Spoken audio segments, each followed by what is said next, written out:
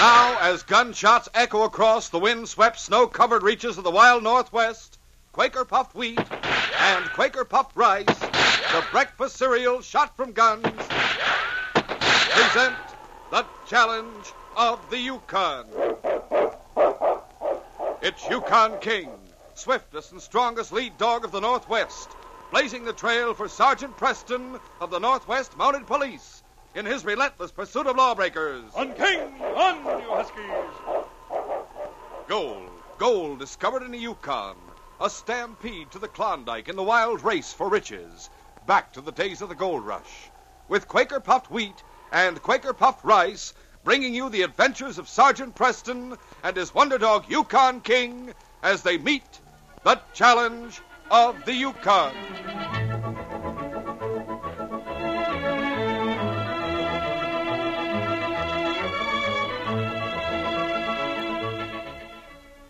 Listen, everyone. The swell tasting, ready to serve breakfast cereals shot from guns, Quaker puffed wheat, and Quaker puffed rice are making a special offer to all you listeners. It's new, it's different, it's terrific.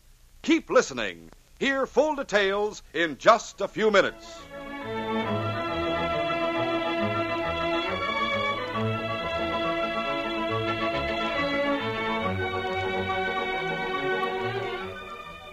With the opening of the summer months in the Yukon, much had happened in the vicinity of Fort River, a settlement not far from Selkirk.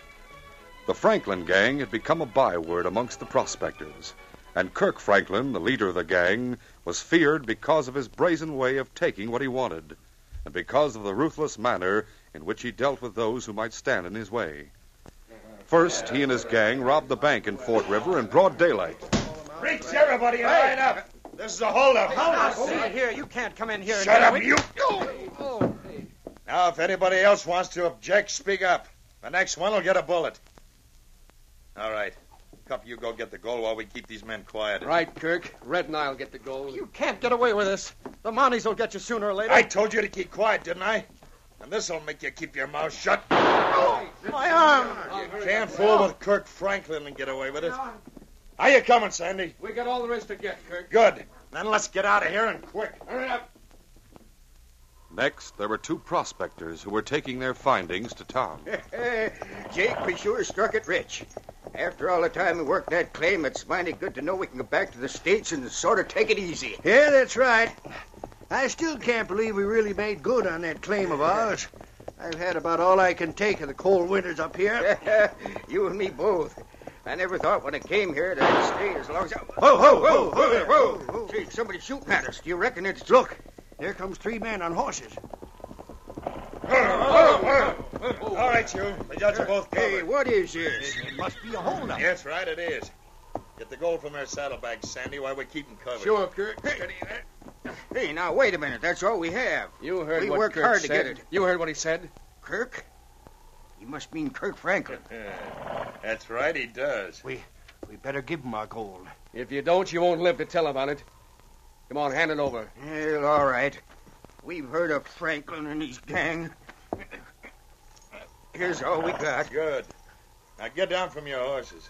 Look, if you take our horses, we can't. yeah, get- you can't get to town and report what happened. At least you can't until we get far enough away. I'll get off those horses. Yeah, or I'll- sure, sure. We're getting off them. Yeah, you can have him. Bring him over here, Sandy. Yeah, get up there. Come on. Steady. Well, they'll have a nice long walk to town, Kirk. yeah, no. Now let's get going. Get up, get up, oh, come on.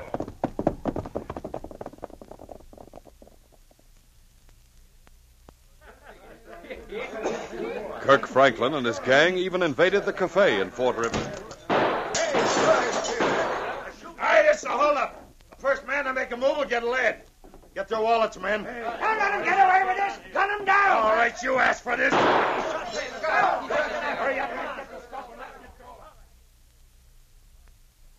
A few days later, Sergeant Preston arrived at the headquarters of the Northwest Mounted Police in response to a message from the inspector. Oh there. Oh, easy now. Come along, King.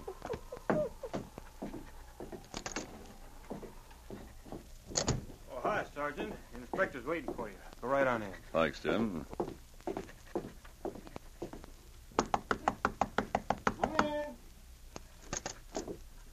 Well, Sergeant Preston and King, glad to see you both. I got your message, Inspector. Oh, uh, sit down, Sergeant. Thank you, sir. I'll come right to the point, Sergeant. There's a gang of crooks operating near Fort River. Gang led by a man named Kirk Franklin. I've heard of Franklin. He's said to be smart and ruthless. That's right. Now, Sergeant, I want you to take King and go to Fort River. Our man, the constable up there, can't seem to get a line on Kirk and his men. He's asked for your help. Very well, sir. King and I'll do what we can to help him. When can you leave, Sergeant? We'll leave right now. We'll see you again, sir, after we've caught that Franklin gang. That's what I like to hear you say, Sergeant. Kirk Franklin and his gang are a menace to the Yukon. If anyone can run them down, I feel that you can, Sergeant. I With uh, King's help. count on King, sir, for a great deal of help, don't I, King? Well, goodbye, and good luck, Sergeant. Goodbye, sir. Come along, King. The following day, Sergeant Preston and King arrived in Fort River and entered the constable's office. On, King. Sergeant Preston. Oh, it's sure good to see you and King. Hello, Bill. I hear you've been having trouble up here. You can say that again. That Kirk Franklin and his gang have really been raising Cain up here. He doesn't seem to care who knows his identity either. I see. You found any trace of their hideout? No, I haven't. Kirk Franklin is smarter than most people think. He has a way of covering his tracks. Yes, so I've heard. But he must be hiding out somewhere near Fort River, since he and his gang are so active in this vicinity. That's what I figure. But so far, I'm stumped. If there was just some way we to bring him out in the open. What do you mean? Uh, what I mean is, if there was some way we could get him and his gang to attempt a robbery that we knew about beforehand. Yes. But how would that be possible? Wouldn't be unless we planned it that way. You mean arrange a trap for Kirk Franklin and his gang? Exactly. But how would we go about it? Bill, Franklin probably has someone spying for him here in Fort River. Oh, that's possible. Yes, it is. So far, I don't believe anyone knows I came here. You know the agent at the express office? Well, yes, I know Hank Devers very well. Good. With his help, we may be able to trap Franklin. How? Now listen closely, and I'll tell you. This is the plan I have in mind.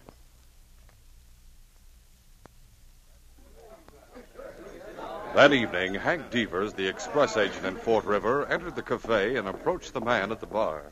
Hi, Mr. Devers. How's everything at the express office these oh, days? all right, Dave. Of course, a job like mine has a lot of responsibility these days. Why, these days, any more than any other time. Well, now that summer's here, we get big gold shipments every now and then. Got a big shipment tonight. Got to go on to Selkirk in the morning. Means I have to be on duty tonight. Oh, I guess your job's no cinch of that. That's right, it isn't. Instead of going home, I'm going to eat here. I'm going back to the office and stay there till that shipment's on its way. I'll sure be glad to get it off my hands, I can tell you. Well, boys, what'll you have?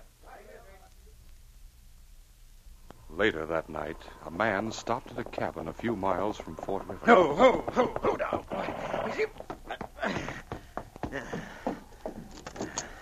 Why, it's Frank. Well, Frank, I brought you back from town so soon. Yeah, we didn't expect you for several more hours. I heard something you might like to hear about, Kirk. Yeah, what is it? I was at the cafe a while ago and the express agent come in to eat. I heard him telling the barkeep he had to go back to the office because he had a big shipment of gold that had to go out in the morning. What? Gold. Well, no use letting that get out of our hands, Kirk. I'm thinking the same thing, Sandy. You gonna wait until it's on the way, Kirk? Why wait?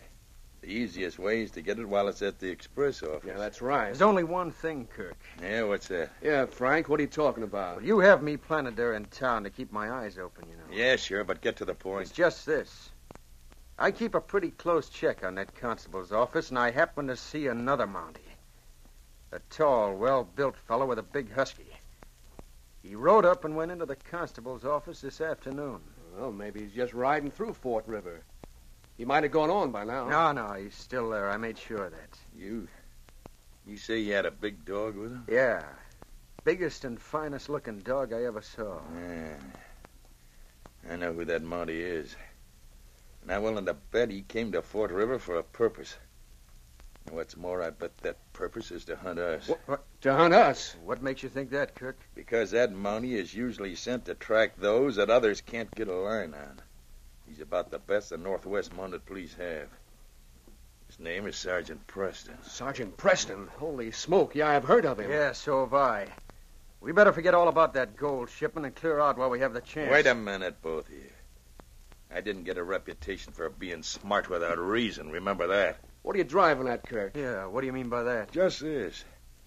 Maybe there is a big shipment of gold at the express office. And then again, maybe there isn't.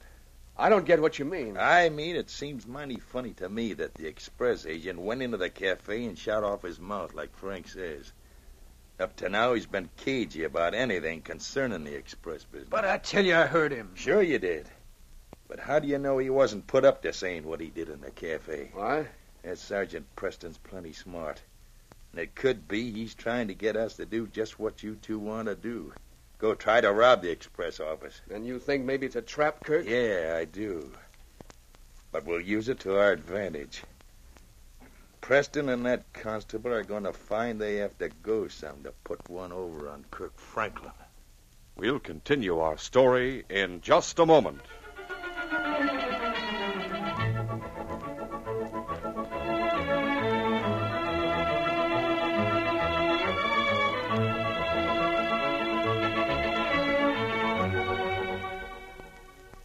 Fellas and girls, here's how to get in on one of the most exciting offers you've ever heard. Here's how you can collect official Challenge of the Yukon dog picture cards. These dog picture cards are the keenest trading cards you've ever seen. There are 35 different cards in all, and they're yours at no extra cost. Just go to your grocer. Ask for Quaker puffed wheat and Quaker puffed rice. You'll get two. That's not one, but two cards, each different inside every package. You get authentic photographs of real dogs. They're brand new. They're keen color Kodachrome photographs. They're made specially for you listeners and are offered exclusively with the breakfast cereals shot from guns. What's more, these trading cards are the real McCoy. They're stiff back and have the same shiny, glossy finish as game cards. You can collect dogs like Cocker Spaniel or Saluki, the royal dog of Egypt. Or Otterhound, the powerful web footed underwater swimming dog that hunts the fighting otter. Each of these 35 dogs is a real dog. Many are champions of their breed. And listen, you get Yukon King. Yes, King himself. The greatest husky in the North Country. On the back of every card, Sergeant Preston tells you what the dog is like. Whether he's a sporting dog, like Irish Setter, or a working breed, like Shetland Sheepdog. or whether the dog is a good watchdog or learns tricks easily. Hurry, start collecting these official dog picture cards before it's too late. Ask for Quaker puffed wheat and Quaker puffed rice at your grocer's. You'll get two cards, each different inside every package. They're yours at no extra cost. No waiting, no delay. Nothing to send in. No money, box tops, or coupons. Mind you, these special new cards come only in packages of wheat or rice shot from guns. Hurry while your grocer's supply lasts. Tomorrow, get both delicious kinds Quaker puffed wheat and Quaker puffed rice. You will have four cards right off the bat. That's how easy it is to collect 'em. So save 'em, swap 'em, start now.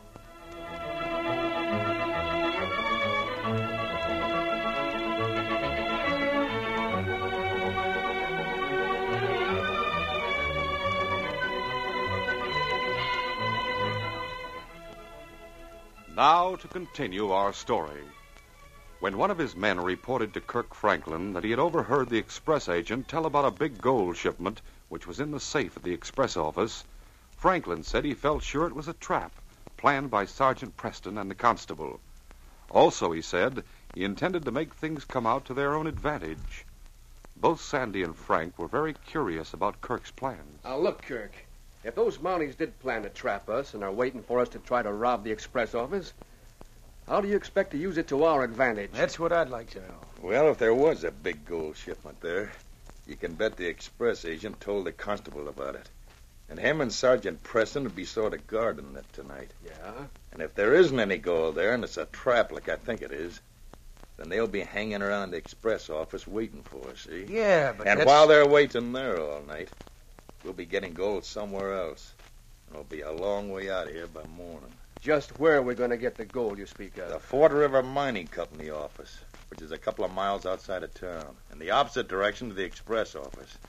They always have a lot of gold in the safe since their summer mining has started. Yeah, that's right. And as you know, the constable's been checking over there every night. But tonight he'll be waiting at the express office, if my guess is right. And I think it is. And you mean we'll rob the mining company office? Why not?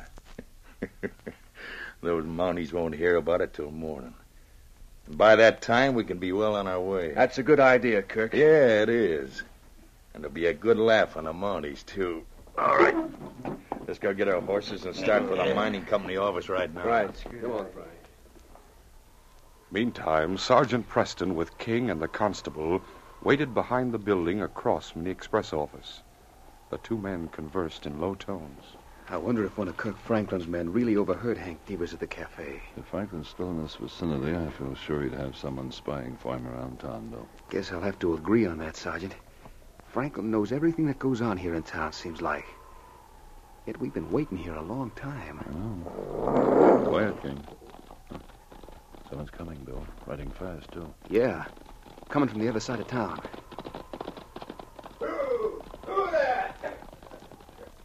Stopped in front of your office, Bill. He's going in. Something must have happened. Come on, we'll see what he wants. Along, King.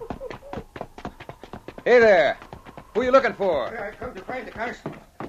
Oh, didn't recognize you at first, Constable. Jed Weeks. What brings you to town at this hour, Jed? Something's happened out my way, that's what. Uh, Jed, this is Sergeant Preston and his dog King. Glad to meet you, Sergeant. Looks like you got here just in time to help the constable track some crooks. What happened, Jed? Well, I got a small claim out near the Fort River Mining Company. Yes? A while ago, I heard sort of like an explosion over at the mining office. Then three men went right in the trail past my cabin lickety oh. split. Well, I got suspicious, so I come over to tell you. Uh-oh. The one night I don't check over there and something has to happen. You mean you usually check the mining office every night, Bill? Yep. The Franklin gang, I'll bet. Kirk Franklin did have someone spying in town, only he's smarter than I gave him credit for. Let's get our horses and get out there. Come on, King. A short time later, Sergeant Preston, King, and the constable arrived at the mining office and found that the safe had been blown open. They've cleaned out the safe, Sergeant. Yes. That's it, King. Got the scent. Let's go out to the horses. Those crooks have a good start, but we'll catch them sooner or later. Come on.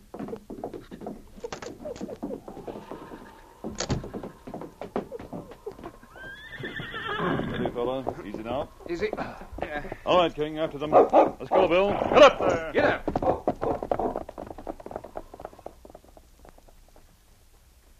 After robbing the mining company, Kirk Franklin and his two men rode all night toward Selkirk. Hey, Kirk, let's stop for a while and rest a bit. Yeah, I'm hungry, too. We've been riding for hours, seems like. Maybe we have, but we're not going to stop until we get into Selkirk. But why? You said nobody'd know about the robbery till morning. I know, but you can never tell, and I don't take chances. As long as we're out on the trail like this, that Mountie Preston can easily trail us. I want to get into Selkirk where there's plenty of people. Then we can hide out till the boat leaves there tonight.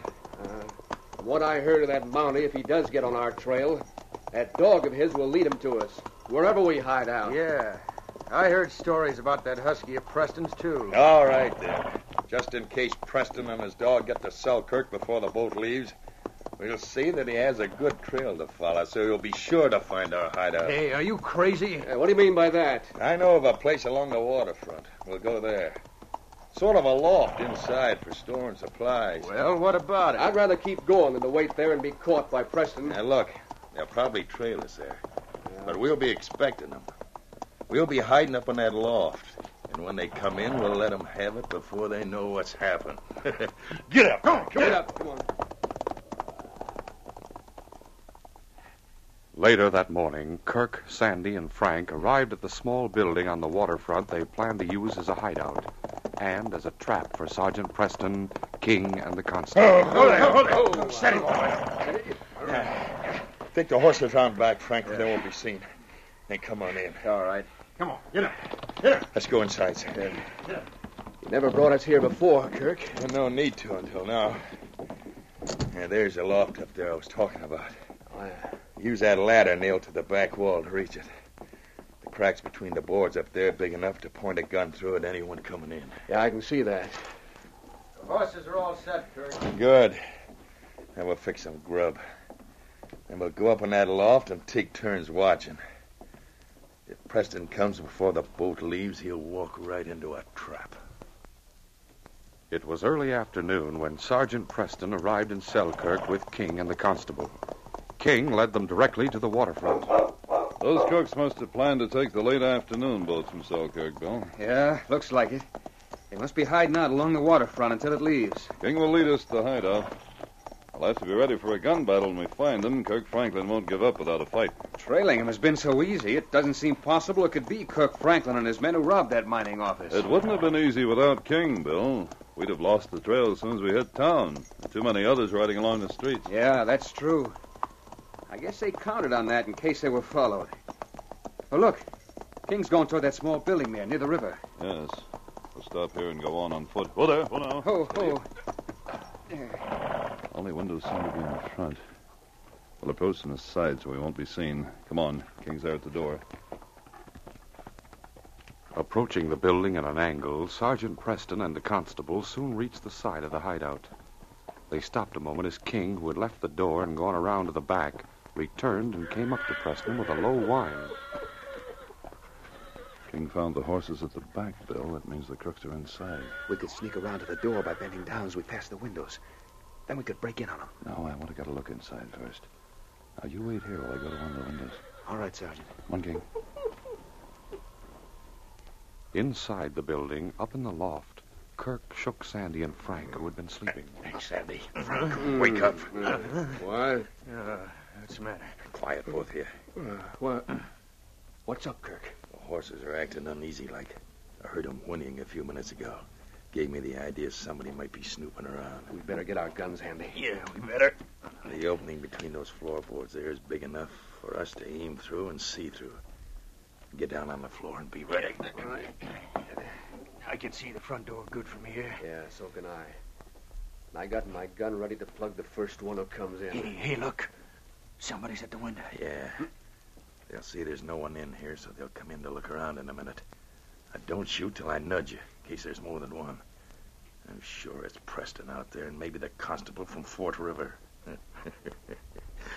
They're in for a surprise if they decide to investigate this place. After looking in the front window, Sergeant Preston waved to the constable to join him at the corner of the building. See anyone inside? No. Quiet, fella. Well, let's go inside and have a look around. Maybe they walked uptown. No, I'm sure they didn't. The way King acts, I'm certain they're in there someplace. But if you couldn't see anyone. I noticed something, Bill. Well, what's that, Sergeant? This building's rather high, and there seems to be a board ceiling inside. That would indicate a loft. Maybe they're hiding up there. I thought of that. And if they are, they expected not only to be followed, but to trap anyone who came here. The boards that make that ceiling aren't too close together. We could starve them out if we were sure they're up there. No, that'd take too long. I have a better plan to find out if they are up there and to force them to come out. You and King stay here. I'm going down to the dock. I won't be long. Stay there, King. A short time later, Sergeant Preston came back carrying a metal bucket. What's that? Half a bucket of tar with some coal oil on top. What's it for? There's just enough coal oil in there to start a blaze. It'll be confined to the bucket, but it will cause a great deal of dense black smoke because of the tar. You figure on driving him out with that smudge pot. Is that it? Seems like a good idea. Now I'll have to figure out how to get that bucket inside. Up in the loft, the three crooks with guns aimed through the openings between the boards watched for someone to enter. Suddenly, the door opened. Hey, look, Kirk. Somebody opened the door, then jumped out of the way. Yeah. Hey. Hey, and look at the smoking bucket just outside the door. What's going on? Hey, they're shoving that bucket inside with a long pole. That heavy black smoke, it'll smother us. It's rising up here already. Yeah, they're trying to trick us. Get down the ladder quick and keep your guns ready. Come on. It's rising. Slide along the wall so they can't see you from the doorway and get to the windows. Now hurry. Here's the window. Smoke isn't so thick down here, but it soon will be. I think we can stand it a while and maybe pick them off through the window. It's getting thicker. I can't stand it. You gotta stand it. they think we're still in the loft. Maybe they'll show themselves. Get ready to plug the first one you see. Outside, Sergeant Preston and the constable stood at the corner of the building waiting for the smoke to drive the crooks out. Some of the thick smoke swirled from the doorway. They must not be in there. That smoke is so thick it ought to drive them out by now. Yes, it should. As the two Mounties talked, King moved along close to the building and under the window. His keen ears had heard the muffled coughing inside, which had escaped the two Mounties. Suddenly, one of the windows crashed and a shot rang out. Keep down, Bill. They're at the window. They've broken it to get air. We'll get enough air through this window, Mountie. You won't get us before we put a bullet in you. You might as well give up, Franklin. We'll get you sooner or later. Noticing the direction from which Preston's voice came, Kirk dropped to the floor and crawled toward the door. The thick black smoke swirling through the opening acted as a cloak, and he hoped to get a quick shot from a prone position from one side of the doorway. But the great dog King was just alongside the door. King heard the scuffling as Kirk crawled toward him. The intelligent dog waited until he saw a hand holding a gun move around the edge of the sill. And then, before Kirk could shoot, King sprang. Leaving the constable on guard, Sergeant Preston ducked under the window and ran along the porch. Then, pointing his gun at the figure that struggled in the doorway, he spoke. On, King. Let him go, boy. Don't move, Franklin. You're covered. The dog, you made me drop my gun. I've got it now. Now then, the rest of you crawl out here on the porch. Come on. Sandy, we gotta get out of this smoke. They got Kirk.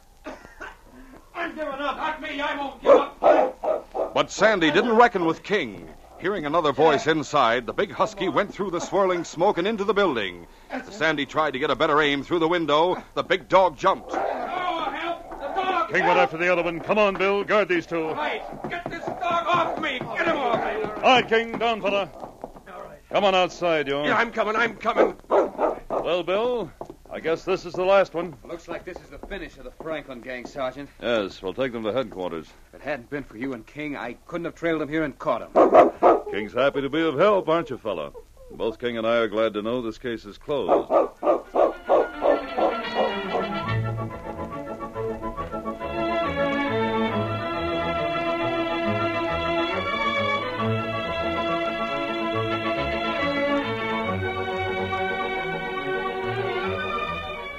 In just a moment, Sergeant Preston will give you a preview of Wednesday's adventure. Don't wait until it's too late. Start now, today. Collect official Challenge of the Yukon dog picture card. Go to your grocer, buy the special new packages of Quaker puffed wheat and Quaker puffed rice. Inside every package, you get two. That's two trading cards, each different. These dog picture cards are brand new, made specially for you. They're yours at no extra cost. 35 different breeds of dogs in all. Best of all, you can get King himself. Don't wait. There's no delay. Nothing to mail in, not a box top, not a single penny. Remember, these official dog picture trading cards come only with Quaker puffed wheat and Quaker puffed rice. Two cards, each different, come in each package. Buy both delicious kinds. Get four of these cards tomorrow. These radio dramas, a feature of the Challenge of the Yukon Incorporated, are created and produced by George W. Trendle, directed by Fred Flowerday, and edited by Fran Stryker. The part of Sergeant Preston is played by Paul Sutton. They are brought to you every Monday, Wednesday, and Friday at this same time by Quaker Puffed Wheat and Quaker Puffed Rice, the breakfast cereal shot from guns. Listen Wednesday when Sergeant Preston and Yukon King meet the challenge of the Yukon in the case of the Bad Penny. Dick Martin was favored to win the biggest dog race in the Klondike, but he was haunted by a fear of losing. I entered the race determined to win so that Dick might learn there's no disgrace in losing a fair fight. I didn't see the finish of that race because a rifle bullet knocked me out and nearly took my life. Be sure to hear this exciting adventure Wednesday.